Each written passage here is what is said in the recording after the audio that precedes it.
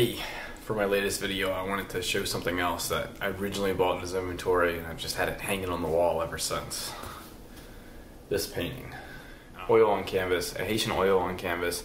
Like most Haitian paintings, I really like its bold colors. This one in particular though, I like because it has a big person. So many of the other ones you see, I'll show you some now that were online, they have these little people and they're just sort of, you know, doesn't seem as much thought as goes into some of those. Those are sort of tourist pieces. This piece speaks more to me. It has, I think, a little more emotion. I do like the bigger person. It fills the canvas. Signed on the back. Looks like 1994. It's a nice smaller size too. I think it really stands out on the wall. I really like having it hanging on my wall. And this brings me to another point about art. I think sometimes in the art world, whether it's folk art or even modern art, oil on canvases, anything, I think we focus too much on the signature of the name there's a lot of bargains out there, uh, good investments, maybe not necessarily investments for long-term growth, but sort of uh, investments in decoration. I think there's a lot of bargains out there, uh, unsigned stuff, or by people who we know nothing about. I think that's true in folk art. I think that's true in painting, something like this.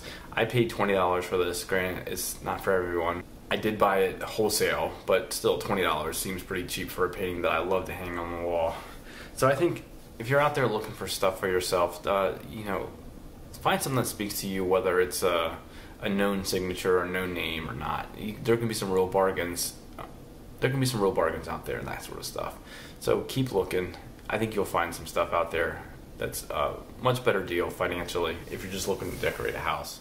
This piece, like I said, this was originally bought as inventory and now it's sort of just hanging on my wall. But here's a piece, um, if you look now, here's a piece that I sold recently that for a long time I had on display in my apartment in DC. I buy something I like better, so I sell something, and the profit I made on this piece is a lot more than twenty dollars I paid for this for the painting that I'm currently keeping. So this piece will eventually probably go for sale too, but that's just how it works. Is that's how it works for me as an antique dealer. I hold on to something for a while because I like it, and I sell it when I upgrade or buy something I like.